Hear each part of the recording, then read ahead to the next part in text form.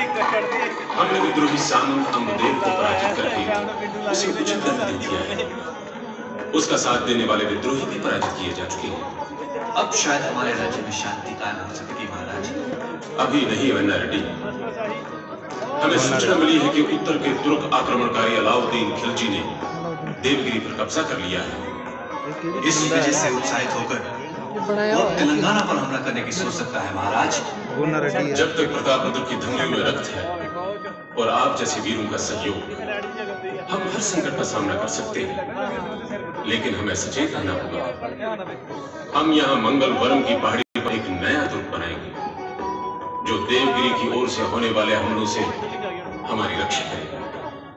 गोलकुंडा की पहाड़ी पर मिट्टी की ऊँची दीवारें खड़ी करके एक मज़बूत किला बना दिया गया। लेकिन उत्तरी हमलावरों के कदम रोके न रुके। खिलजियों के बाद तुगलक आए और फिर न यादव रहे न काकतीय दिल्ली के तुगलक सुल्तान भी इस इलाके को ज़्यादा दिनों तक अपने कब्जे में नहीं रख सके। क्यों? इसलिए कि एक तरफ़ कापय नायक जैसे सामंतों ने लोगों को इकट्ठा करके तेलंगाना को तुगलकों से आज़ाद करा लिया। दूसरी तरफ़ दक्कन में तुगलकों के सूबेदारों ने बगावत करके दिल्ली सल्तनत के जुए को उतार फेंका इन्हीं में से एक सूबेदार अलाउद्दीन हसन बहमन शाह ने सन 1347 में बहमनी सल्तनत की नींव रखी।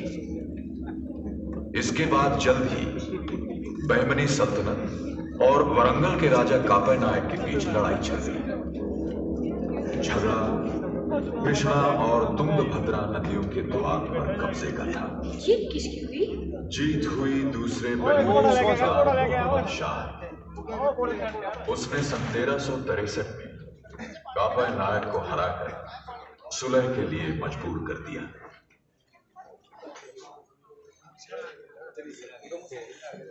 नायक ये दूसरी मरतबा है जब हमारी फौज जंग करनी पड़ी है।